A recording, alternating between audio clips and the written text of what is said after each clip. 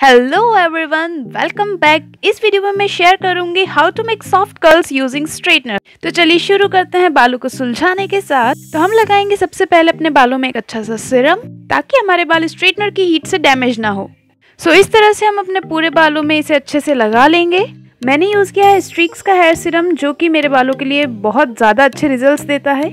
तो अब हम करेंगे अपने बालों में इस तरह से पार्टीशन हमारे आधे से ज़्यादा बालों को हमें इस तरह से लेना है और उन्हें ऊपर की तरफ़ टाई कर देना है using a hair clip so अब हम करेंगे अपने बालों को curl using a straightener so मेरे पास है फिलिप्स का हेयर स्ट्रेटनर जो कि बहुत ही ज़्यादा अमेजिंग है। इसे मैंने रखा है मीडियम टेम्परेचर पे कॉज मेरे बाल थोड़े थिन है।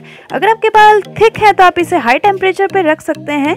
Otherwise medium temperature is good to go हम अपने बालों से एक स्ट्रैंड लेके उसे सुलझा लेंगे।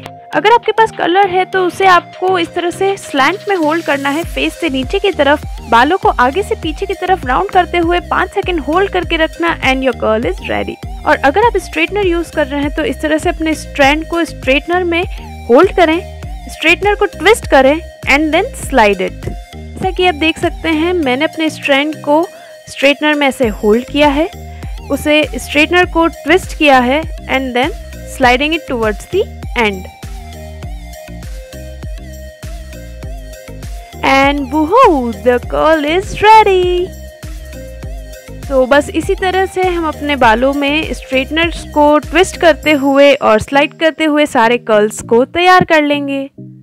So you can see the difference हमारे सॉफ्ट कर्ल्स जो हैं वो कंपैरिजन टू नॉर्मल हेयर कितने अच्छे दिख रहे हैं। सो so, बस यही प्रोसेस रिपीट करते हुए हमें अपने सारे बालों को कर्ल कर लेना है। स्ट्रेटनर में स्ट्रैंड को होल्ड करना है ट्विस्ट करना है स्ट्रेटनर को and then slide towards the end so so, जैसे ही हमारे नीचे वाले पार्टीशन के सारे कर्ल्स रेडी हो जाते हैं हम अपने ऊपर वाले पार्टीशन को ओपन करेंगे।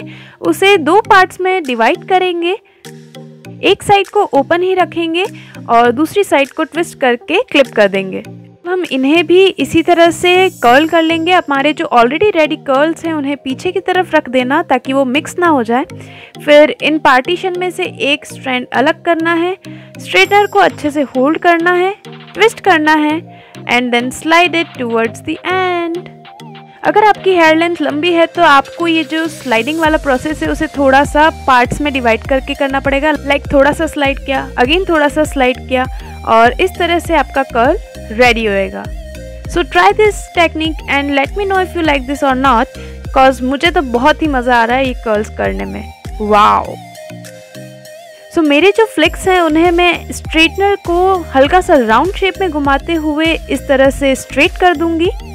इससे मेरी फ्लिक्स को बहुत अच्छा वॉल्यूम मिल जाता है। एंड या here are the curls looking super and so pretty so आज की हेयर स्टाइलिंग में मैं ऐड करने वाली हूँ क्राउन तो so, उसके लिए बनाएँगे हम एक पफ आगे की तरफ़ के बालों को थोड़ा सा छोड़ते हुए पीछे से हमें एक सेक्शन लेना है। फिर इस सेक्शन में हम कॉम करेंगे डाउनवर्ड डायरेक्शन में। इससे बनेगा हमारे पफ के लिए बहुत ही अच्छा सा बेस सो so, अब इस सेक्शन को हम इस तरह से होल्ड करेंगे और इससे बनाएँगे एक अच्छा सा पफ और उसे क्लिप कर लेंगे using a bobby pin puff को अच्छे से सिक्योर करने के बाद हमारे जो आगे के बाल हमने छोड़े थे उन्हें हम ट्विस्ट करेंगे और ट्विस्ट करके पीछे की तरफ़ इस तरह से बॉबी पिन से सिक्योर कर लेंगे। सेम दूसरी साइड के साथ भी रिपीट करेंगे और एंड में हमारी हेयर स्टाइल को देंगे एक finishing look using a crown तो try this hair style and give yourself a pretty princess look on your own so I hope आपको ये वीडियो पसंद आया हो। अगर पसंद आया तो इसे लाइक करें शेयर करें और सब्सक्राइब कर मेरे चैनल को। मिलेंगे नेक्स्ट वीडियो में एक नई हेयर स्टाइल के साथ। Thanks for watching